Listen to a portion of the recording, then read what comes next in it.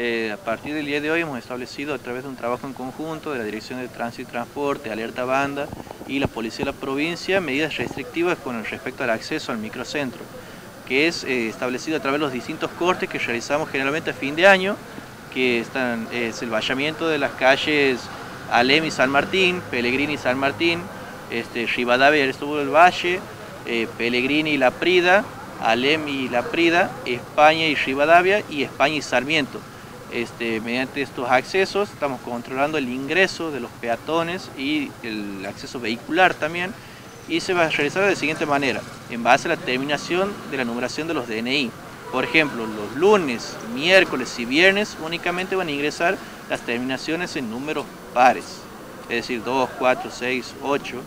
y en caso de los números impares, 1, 3, 5, 7 y 9, los días martes y jueves y con respecto a las terminaciones números ceros, los lunes, miércoles y viernes. Con los pares. Así es.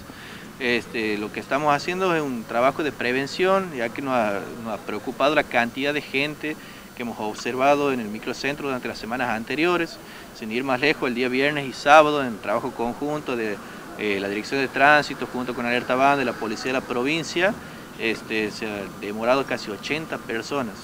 La verdad que sin justificativo estaban dentro del microcentro y tratamos de evitar esas situaciones. La verdad que, velamos por la salud pública, por el buen acceso al,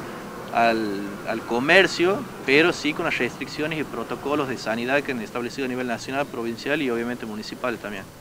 Eh, se hablado también del eh, control a los comercios, ¿no? Sí, realizamos a través de la Dirección de Calidad de Vida, está realizando el control de los comercios también en los horarios que tienen que abrir y cerrar sus negocios y también a la cantidad de personas que tienen que estar adentro, que no tienen que ser más de dos. También estamos realizando un control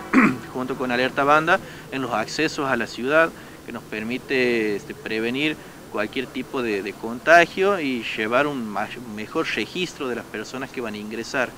Este, también en las paradas de colectivo, con la cantidad de personas que suben al transporte y con el tema de los remises también. La verdad que es una tarea ardua que venimos haciendo desde el primer día, que es el 20 de marzo, este, que se ha decretado el aislamiento, y hay que recalcar la gran, la gran labor que viene realizando el personal de calle, tanto como te reitero, la Dirección de Tránsito, la, dirección, la, Dirección de Alerta Banda y la Policía de la provincia, que desde el primer día hemos estado poniéndole el pecho a esta situación.